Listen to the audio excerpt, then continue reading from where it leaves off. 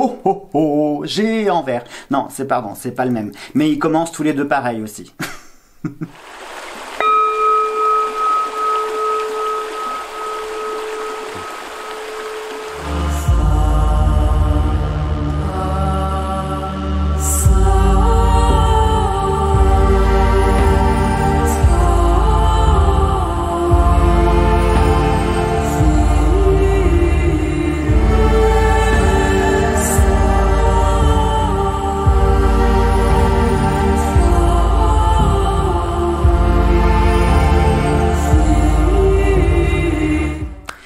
Bonjour à tous mes chers amis et merci de me retrouver dans cette nouvelle vidéo dans laquelle il n'y aura ni tirage de cartes, ni péripéties dentaires, ni quoi que ce soit d'autre comme mes aventures. J'avais juste envie de vous transmettre un petit message pour toutes les personnes qui vont être seules ce soir, mais aussi ceux qui seront accompagnés, euh, parce que ça me tenait à cœur de vous faire un petit message, d'être là avec vous euh, ce soir, ne serait-ce qu'en pensée, puisque rassurez-vous, hein, nous de notre côté, ça va être très très sobre. Hein. on s'est fait un, micro repas euh, tout simple.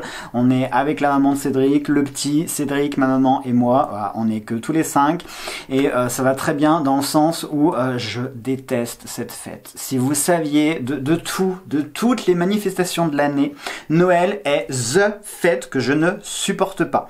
Parce que d'une part, c'est purement commercial cette fête. Euh, si on regarde dans les écrits historiques, c'est encore pire, hein, parce que Noël n'a strictement rien à voir avec la naissance du Christ. Hein. Encore une fois, l'Église a pris arbitrairement cette date qui correspond au solstice d'été, puisque la vraie fête à la base, c'est la fête des Saturnales qui était célébrée chez les Romains. Ensuite, ça a été Yule, Yule ou Yole, qui a été repris par les traditions euh, plutôt scandinaves, germaniques et celtiques.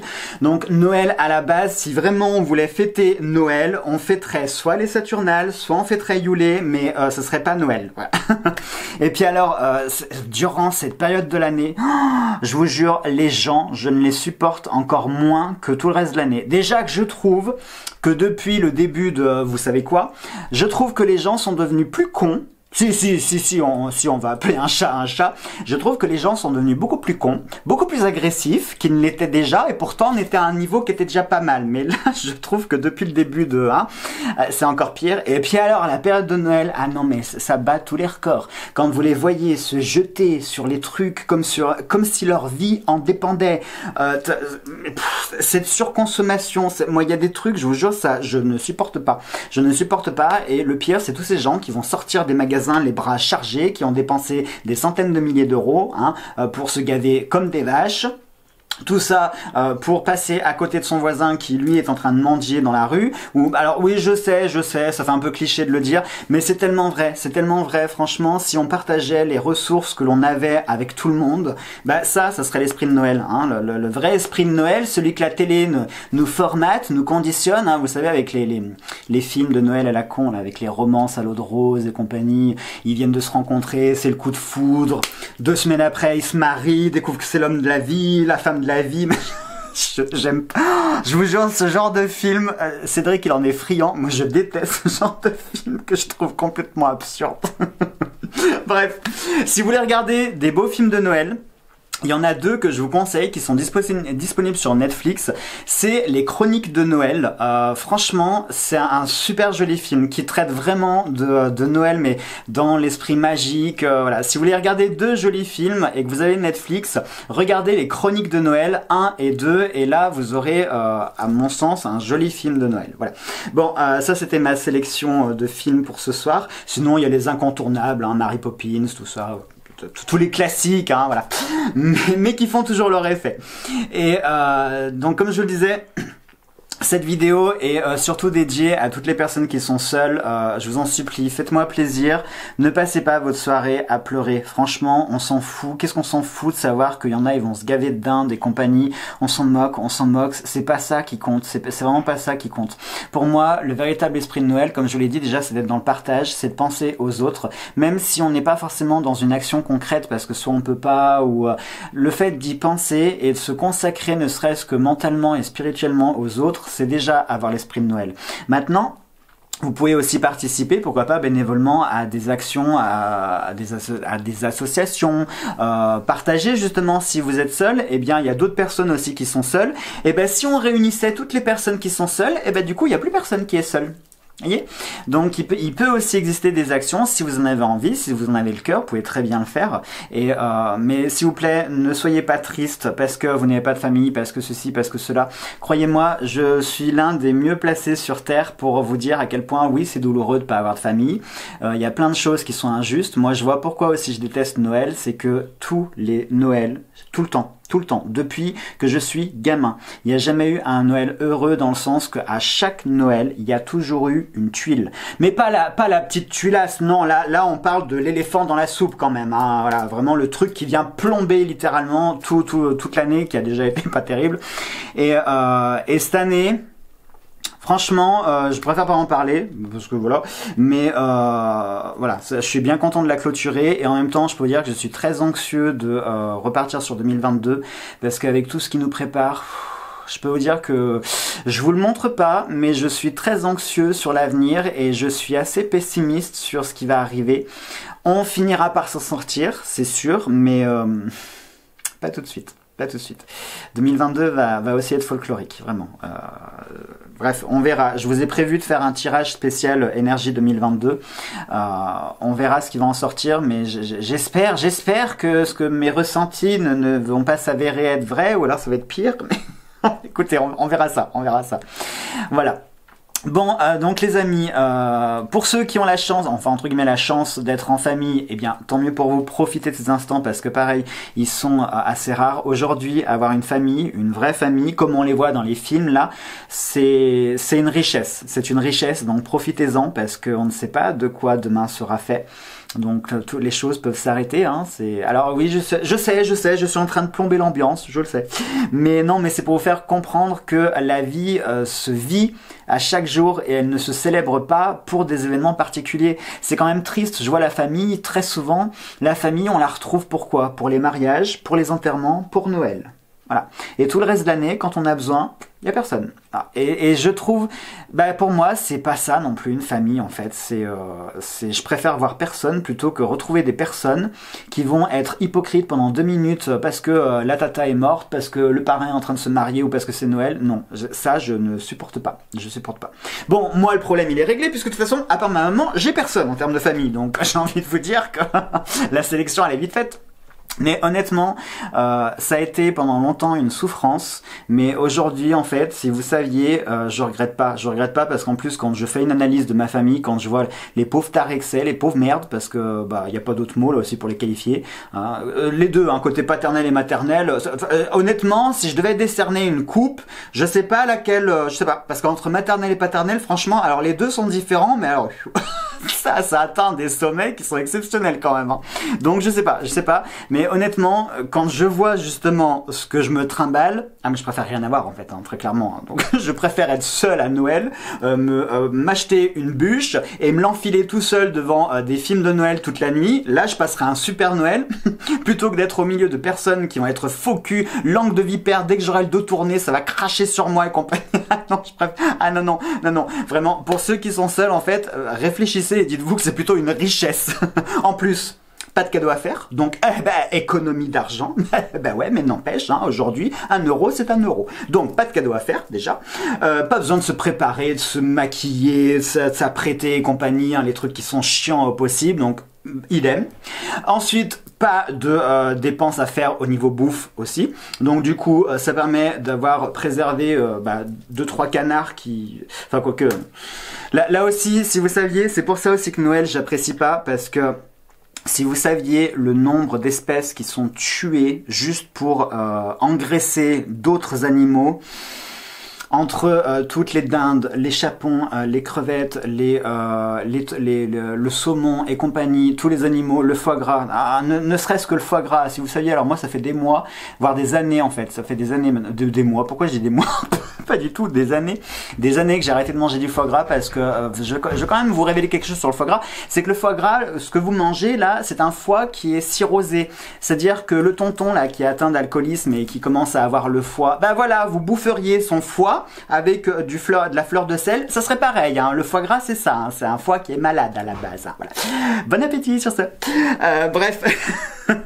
et peu importe que les canards soient élevés euh, en plein air, qu'ils soient élevés dans des cages, ils finissent malades tous les deux. Sauf qu'il y en a un, il aura eu la belle vie avant de mourir dans d'atroces souffrances. et tout ça, c'est aussi pour ça qu'il y a plein de choses que je ne consomme plus pour Noël et que je n'accepte plus à Noël parce que cette, cette surproduction, cette surconsommation, tout ça. Alors je suis désolé pour ceux qui, euh, qui sont en train de préparer leur repas, leur repas et qui vont dire Putain Jojo franchement tu fais chier, t'es en, en, train de casser toute l'ambiance. Oui je sais, je sais, je sais, je suis en train de gâcher toute l'ambiance et j'en suis bien conscient. Mais c'est aussi une réalité. C'est-à-dire que Noël, qu'est-ce que ça peut faire en fait qu'on se gave de saumon, de crevettes, on se fera un bon plat de pâtes à la béchamel. Tant qu'on est avec les personnes qu'on aime, j'ai envie de dire, on s'en fout du reste. Franchement c'est ah non je pense que vous êtes vous êtes plusieurs à être d'accord avec moi avec ça quand même. Rassurez-moi dites, moi que vous êtes d'accord avec ça quand même. Pareil pour les cadeaux euh, quand je vois aussi les dépenses qui se font il y a des fois, ça me fait paniquer quand je m'imagine de me dire euh, rien que les jouets. Dès qu'on arrive à la période de décembre, je sais pas si vous avez vu, on est inondé de publicités de jouets. Vous imaginez tout ce plastique qui est produit, des millions de tonnes de pétrole qui sont transformés, des ressources naturelles qui sont encore gaspillées, des je, je... Je sais, je sais, c'est un Noël fataliste. Euh. mais non, mais c'est tellement vrai et, euh, c'est tout ça en fait que, j'aime pas. Et puis pas, pas que, pas que en fait. Noël en règle générale, c'est vraiment une fête que, que je déteste parce que parce qu'on nous vend en fait un esprit qui n'existe pas. Euh, les gens sont censés être dans le partage alors que c'est la période où ils sont le plus égoïstes de toute l'année. Hein euh, vous avez remarqué aussi, normalement on est censé aider son prochain, être dans le partage, dans la compréhension, machin, mais le pardon, bidule, machin chouette. Et en fin de compte, c'est vite, il me faut 2 kilos de crevettes, machin, vas-y, qu'est-ce que tu Ah, euh, voilà, je pense que j'ai tout résumé là avec la petite scénette. Hein. Donc je vais quand même vous présenter mes vœux, hein. ça c'est le plus important et euh, je crois que... Alors je sais, c'est quelque chose qu'on dit très souvent, mais j'en ai fait l'expérience cette année. Donc avant tout, ce que je vais vous souhaiter, c'est de la santé, parce que euh, je crois que c'est le trésor le plus précieux, surtout en ce moment. Hein. Euh, je crois que c'est la chose la plus précieuse de posséder la santé. Même si, voilà, des fois, on a un peu mal au dos, on a un peu mal à la tête, on a une dent qui en fait peu des siennes. L'essentiel, quand même, c'est que dans la généralité, la santé soit bonne et c'est vraiment ce que je vous souhaite. Et ensuite, eh bien, c'est tout simplement de trouver et d'avoir ce dont vous avez besoin, que vos vœux puissent se réaliser, mais des vœux qui soient accessibles, qui soient réalistes, réalisables, des choses dont vous avez vraiment besoin. Si vous avez besoin d'un travail, eh bien, je vous le souhaite de tout cœur. Si vous avez envie de rencontrer l'amour, je vous le souhaite également de tout cœur. Si vous êtes en train de lutter pour euh, une maladie, justement, euh, eh bien, euh, je suis de tout cœur avec vous. Mes vœux, ils sont dans ce sens-là. J'ai pas envie de vous souhaiter des trucs à la con dont vous n'avez pas besoin. Non, je vous souhaite d'avoir ce que vous avez besoin. Je vous souhaite, je nous souhaite à tous que 2022 soit meilleur que 2021. Même si, ah, vous le sentez, vous l'avez senti, vous l'avez vu que j'étais inquiet là. je sais, mes yeux m'ont trahi. Mais euh, je, je, nous souhaite, je nous souhaite vraiment d'aller vers le meilleur, même si je pense qu'il va falloir se préparer quand même petit peu. Hein. Au cas où, ce que je vous propose de faire, c'est qu'on s'ouvre une cagnotte tous ensemble, on cotise pour pouvoir s'acheter un grand bunker tous ensemble. Alors quand même, essayez de cotiser un petit peu élevé, hein, parce que je vous rappelle qu'on est 7000 sur la chaîne, donc il va falloir loger 7000 personnes dans un bunker, d'accord? Donc me faites pas des dons de 1 ou 2 euros, parce qu'on n'ira pas bien loin avec ça. Hein. Je pense qu'au moins, au minimum, pour que ce soit rentable, il faudrait que chaque abonné fasse un don d'au moins 1000 euros. peut-être qu'on arrivera à faire quelque chose avec après.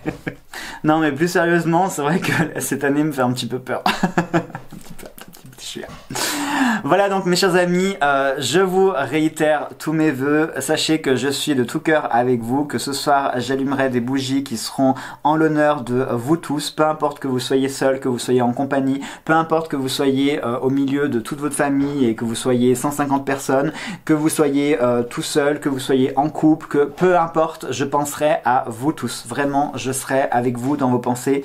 Et, et puis voilà, et puis on se retrouvera demain. Je vous ai prévu une petite vidéo euh, une petite vidéo Yule, parce que j'en ai marre, tout le monde parle de Noël, c'est bon, il n'y a pas que Noël dans la vie. Donc je vous ai prévu une petite vidéo euh. Euh, alors je suis très déçu parce que j'avais espéré qu'il tombe de trois flocons de neige. Mais comment vous dire que chez moi j'ai presque 15 degrés. Donc euh, vous le sentez là que je suis dépité. Hein non seulement j'aime pas Noël, mais en plus j'ai même pas le droit à de la neige pour Noël. Voilà. Donc... Ça finit de m'agacer. Hein, ça vraiment. Parce que pour moi, quand même, Noël, c'est la neige. Je voudrais de la neige. Je pense que l'année prochaine, si j'ai des abonnés qui habitent en Suède ou en Norvège, euh, je, je veux bien une invitation. Comme ça, on viendra passer Noël en Suède, en Norvège. Je serai à peu près sûr d'avoir de la neige. Alors, je sais que j'ai aussi des amis canadiens qui nous regardent. Donc, si euh, ce sera soit la Suède ou la Norvège, soit ce sera le Canada. Parce que j'en ai marre, je veux de la neige. Allez sur ça les amis, je vous embrasse tous très très fort. Passez malgré tout un très bon réveillon et peu importe que vous soyez seul, je vous le dis, je vous le redis, euh, si vous travaillez, certains d'entre vous vont travailler, euh, on s'en fout, on s'en fout. Pensez à vous, c'est votre moment à vous, faites-vous plaisir à vous-même, euh, ne pensez pas aux autres, puisque les autres justement ils sont égoïstes, eh bien soyez égoïstes, pensez à vous aussi, il n'y a pas de raison, hein, il faut toujours penser pour les autres, machin, et puis pour le remerciement qu'on en a. Donc c'est aussi le moment de penser à vous. Hein, pensez à ceux qui vont penser à vous, mais en revanche ceux qui s'en foutent, non, n'y pensez pas. Hein, voilà, non mais il y a un moment, il y a un moment il faut arrêter d'être gentil, quoi il y a, une limite à la gentillesse. Après, on tombe dans la bêtise et euh, voilà. Allez, prenez bien soin de vous. J'ai mon bonnet qui se barre. On va essayer de finir la vidéo quand même euh, comme on l'a commencé. Je vous souhaite de passer un très bon réveillon. Je vous représente tous mes voeux. Je vous souhaite un très joyeux Noël et je vous embrasse tous très très fort les amis.